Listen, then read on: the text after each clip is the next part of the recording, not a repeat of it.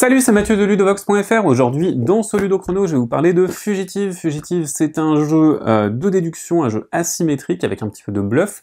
C'est un jeu pour deux joueurs de 10 ans et plus, et des parties de 10 à 15 minutes. Dans ce jeu, nous allons incarner soit un fugitif, soit une détective. Bien entendu, nous aurons des objectifs différents. Le fugitif va vouloir s'enfuir d'une ville en jouant sa carte 42, qui est la carte qui va lui permettre de sortir de ville, et la détective va essayer d'exposer le fugitif en révélant toutes ses planques. Les planques sont matérialisées par des cartes qui sont numérotées de 0 à 42, bien entendu, ces cartes sont uniques, on va en piocher quelques-unes en début de partie et avoir les cartes de 0 à 3 et la carte 42 dès notre main de départ pour le fugitif, et ensuite elles vont être triées en paquet. Ici, nous avons les cartes de 4 à 14, de 15 à 28 et de 29 à 41. Pour le premier tour du fugitif, eh bien, il va avoir ses cartes en main, donc en fait, il va avoir un certain nombre de cartes et il va pouvoir jouer deux planques. Les planques vont être constituées donc par les cartes, comme je vous le disais, et les chiffres sur les cartes vont être très importants parce qu'on va sauter de planque en planque avec un écart maximum de 3 unités. Par exemple, si je joue ma planque 0, Ma planque suivante, ça pourra être 1, 2 ou 3. Donc, par exemple, je vais jouer 0 euh, et 2 ici. Euh, non, 0 et 3, tiens. Je vais les placer face cachée. Je ne peux pas jouer de planque qui est inférieure à la dernière planque que j'ai jouée, donc je dois toujours aller croissant. Une fois que j'ai fait ça, j'ai fait mon premier tour, ça va être le premier tour de la détective. La détective, elle, elle va tout simplement piocher deux cartes dans l'état qu'elle souhaite et ça va lui donner des indices. Par exemple, elle va piocher ici deux euh, cartes du tas numéro euh, du premier tas, du tas avec euh, les cartes de 4 à 14, elle récupère 7 et 11, elle peut directement les cocher sur sa petite tête de jeu, et ça c'est très important parce que ça va lui donner des indices, ça va lui permettre de commencer à se dire tiens, le, le fugitif n'aura jamais ces cartes, c'est des cartes qu'il ne faut absolument pas dire. Puis la détective va essayer de deviner une ou plusieurs des planques du fugitif. Je vous explique ça dans deux secondes. Après, pour les tours du fugitif, une fois que le premier tour est passé, eh bien, ils ont une structure très simple. Le fugitif va piocher une carte, c'est obligatoire.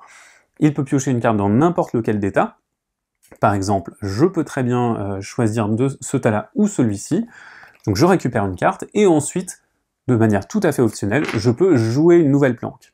Alors pourquoi de manière tout à fait optionnelle? Eh bien c'est parce que il y a des moments où on a envie de gonfler sa main pour pouvoir sprinter.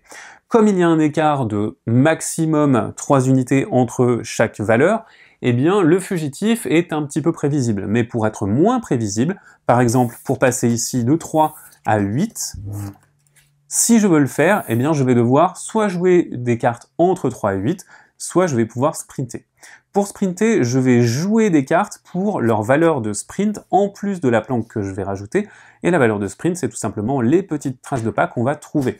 Du coup, je vais tout simplement indiquer que je sprint avec des cartes, ça va augmenter potentiellement ma valeur de sprint, mais ça va me donner euh, une main plus réduite, et du coup j'aurai moins de possibilités pour les tours d'après.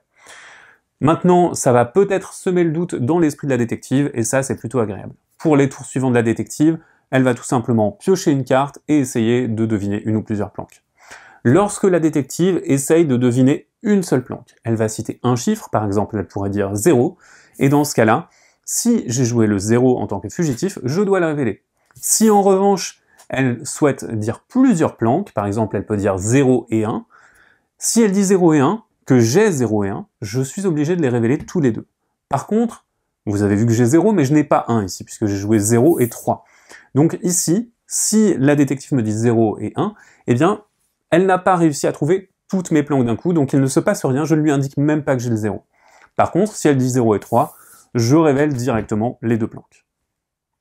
La détective va gagner si elle euh, trouve toutes les planques du fugitif, et le fugitif, lui, donc, va gagner s'il place la carte 42. Lorsqu'il place la carte 42, si jamais euh, la planque révélée la plus haute est inférieure à 29, donc inférieure au dernier tas, on va déclencher une chasse à l'homme, c'est une mort subite qui va permettre une dernière chance à la détective qui va essayer de deviner chacune des planques euh, du fugitif, et si elle réussit, euh, elle réussit à le capturer. Par contre, au premier échec, elle a complètement perdu la partie. Voilà pour la globalité du jeu. Maintenant, vous avez des modes de jeu avec des événements, vous avez des événements aléatoires qui vont se rajouter dans les paquets, Vous avez des événements de découverte qui vont se rajouter lorsque la euh, détective découvre des planques, et vous avez enfin des événements euh, de rattrapage qui vont essayer de rattraper le joueur qui est à la traîne. Voilà pour Fugitive, c'est donc un jeu dans lequel on va essayer de déduire lorsqu'on est euh, détective, et dans lequel, lorsqu'on est fugitif, on va essayer de bluffer le plus possible tout en essayant de réfléchir à comment s'en sortir. Maintenant, c'est à vous de jouer. À bientôt sur ludovox.fr.